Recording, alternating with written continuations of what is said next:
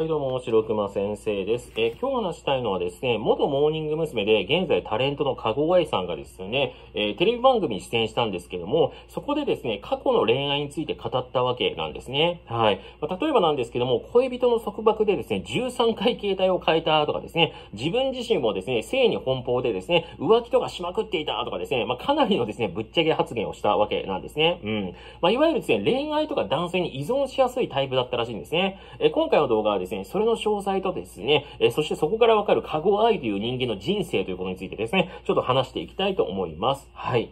えー、まずなんですけども、まあ、かごえさんといえばですね、元モームスとしてですね、まあ、ものすごい人気当時だったわけなんですけども、まあ、その後はですね、なかなかやっぱ波乱万丈な人生だったんですよね。うん。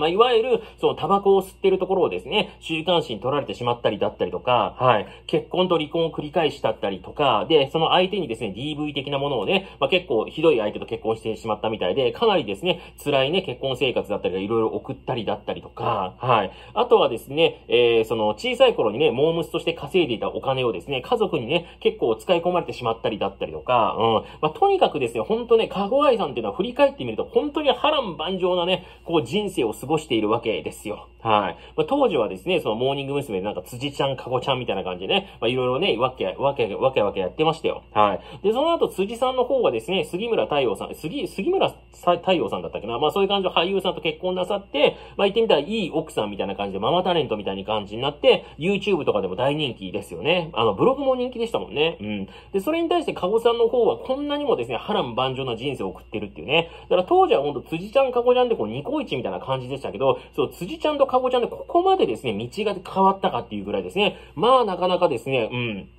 劇的な人生をカゴさんはですね、過ごしてきたわけですよ。はい。まあ、ただ、カゴさんはですね、えー、現在はですね、えー、またですね、結婚なさってですよ。再度結婚なさって、そして2児の母となってですね、もう本当ね、子育てにですね、没頭している、もう子供が可愛くてしょうがないっていうスタンスみたいなんですね。うん。で、そんな中においてですね、カゴさんがですね、最近ですね、アウトデラックスっていうですね、あの、マツコデラックスさんがやってる番組に出演してですね、そこでですね、まあ、言ってみたらですね、うん。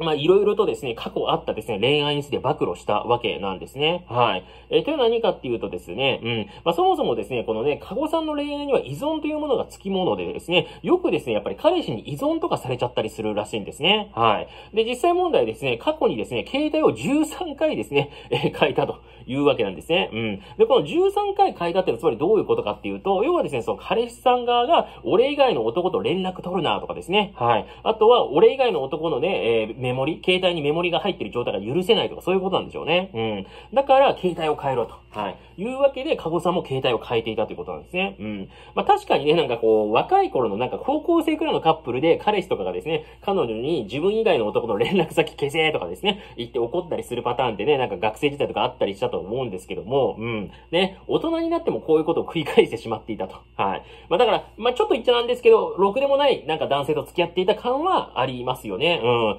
っていい年した男性がそれを言うって、これを言ってる段階でもうしょうもないじゃないですか。うん。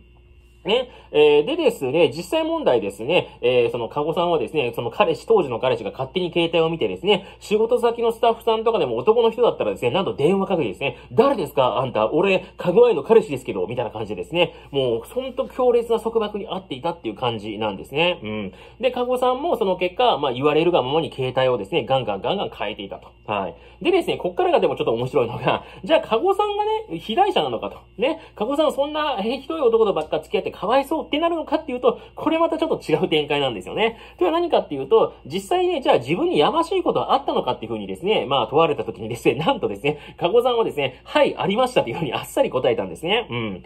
で、カゴさん曰くなんですけど、当時すごくモテたんですよ。だからすぐ浮気しちゃしちゃうと。ね、好きですよって言ってもすぐ横向いちゃうから、それ13回も携帯変えられるわなと。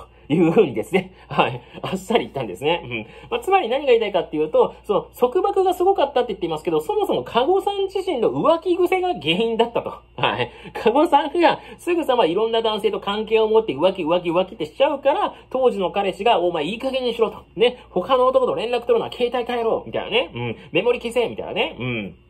っていう風になっていたって話なんですね。はい。で、しかもその、かこさん何がそういうかって、携帯を変えるわけじゃないですか。13回。13回変えるってことはつまりどういうことかっていうとですよ。13回以上繰り返してたってわけですからね。はい。つまり浮気して、彼氏に束縛されて、携帯変えろって言って携帯変えて、で、また新しい彼氏なり、まあ、その人とね、継続して付き合うかわかりませんけども、その後にまた浮気しちゃって、それがバレて、みたいな、ね、携帯変えろって言われて、また浮気して、っていうね。はい。まあ、だからその13回っていう回数を考えると、まあ、かごさんはですね、相当これ性に奔放なね、はい、人生を過ごしていたんだなっていうふうに、うん、思いますね。はい。で、この辺に関してですね、MC であるマツコデラックスさんがですね、いや、なんかあなたの浮気の仕方っていうか遊び方って男っぽいよ、男っぽいのよねっていう風に言い出したんですね。そしたらですね、その同じく MC のナイナイ矢部さんもですね、男やなと、精神面独身時代の俺と一緒やわっていう風に言ってるんですね。はい。でちなみに矢部さんといえばですね、やっぱりその独身時代はですね、相当ですね、女性遊びしたで有名な芸人さんですから、はい。その矢部さんにですね、この言葉を言われるっていうのは、まあ、カゴさんもですね、なかなかなもんだなっていう感じでしたね。うん。でですね、えー、かごさんさらにこうも言ってますね。一回デートしたらもういい、もう会いたくないってなっちゃうと。全部を知られたくないし、知りたくもないというね、感じで交際していたらしいんですね。はい。まあ絶対これ一回デートしたらって言ってますけど、おそらくですけど肉体関係その日にあるじゃないですか。ね。だから本当にまさに男の方の遊び方ですよね。要は不特定だ多数の女性ととりあえず一回やったらもうそいつは切り捨てて付き合うでもなしに、でまた新しい女性と一回やって、はい切り捨ててみたいなね。こういう遊び方する男性っていらっしゃるじゃないですか。とにかく不特定多数の女性に手を出すみたいなね。なんか、それと同じことをやっぱりね、あの、カゴさんはしていたと。うん。ねいや、豪快ですね。はい。でですね、現在なんですけども、もう完全に2児の母となって今は落ち着いていますと。今やったら完全にアウトだと。結婚してから一切ないと。男の子を産んでから世の、世の男性に興味がなくなったと。毎日胸キュンをくれる存在ですというふうにね、言ってるんですね。はい。今、今は言ってみたら子供一筋だということですね。はい。っていう話をですね、カゴさんはしていると。うん。はい。ということなんですけども、うん。まあ、だから僕これ聞いて思ったんですけども、まあだからほんとね、なんかね、人生いろいろだなって思いましたね。はい。まあ結構ね、やっぱりその、これ遊び人の方とかで本当多かったりするんですけど、結婚したりとか年を取ったりしてですね、どんどんどんどん丸くなる人っているんですよね、本当に。うん。まあ例えばですけども、例えばですよ、なんかそういう風に散々女遊びしていたんですけども、結婚して子供ができた瞬間に小煩悩になって、全然女遊びをやめる人だったりとか、はい。あとはですね、世のおじいちゃんとかでも、とかもですよ。その自分の娘とかに対してはめちゃくちゃ厳しくて怖いお父さんだったのに、その娘がいつか結婚して孫が生まれた瞬間になんかね、急に孫に対してメロメロで優しくなって丸くなっちゃったりとかってあるじゃないですか。ね。まあだから人間ってやっぱね、年を取ることによってですね、丸くなっていくんでしょうね、なんか。うん。